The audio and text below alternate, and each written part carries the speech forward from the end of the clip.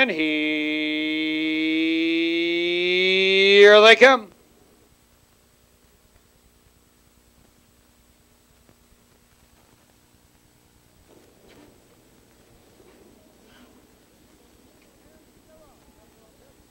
And they're off. Wilco's escort, and there goes Mainframe with a rush to the middle of the track. Sammy Blue Chip down along the rail. Worthy Wolf and Mount Cook.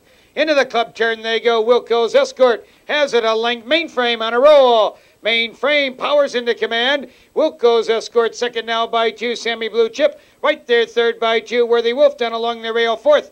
Mount Cook Fifth now by two, MK Strikerton. Then it's Tri Nitro down along the rail. Dirty Deeds and Hallview Spirit is ninth and last. Sammy Blue Chip wants the lead. The quarter, 30 and 4. Sammy Blue Chip in hand, cutting it out, dashing clear. Mainframe on the chase second. A gap of two. Wilco's Escort. Keeping pace third by three. Worthy Wolf down along the rail fourth. Then it's Mount Cook.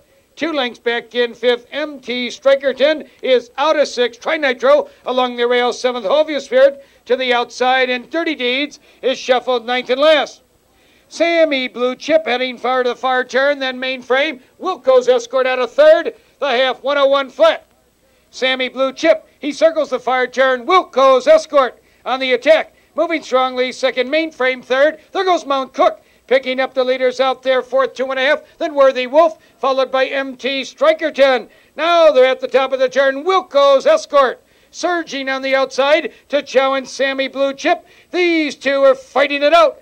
Here they come, spinning out of the turn. Sammy Blue Chip cuts the corner three parts of a length. Wilco's escort second, Mount Cook to the outside in third. Mainframe down along the rail race scene in fourth. Coming now to the eighth ball. Sammy Blue Chip has it sprinting clear now a length. Coming on MT Strikerton, way on the outside, Worthy Wolf. Then between horses, Mount Cook, Wilco's escort. Sammy Blue Chip under the whip. Here comes Mount Cook. Mount Cook on the outside. Wilco's escort. Sammy Blue Chip still there. Here comes Dirty Deeds.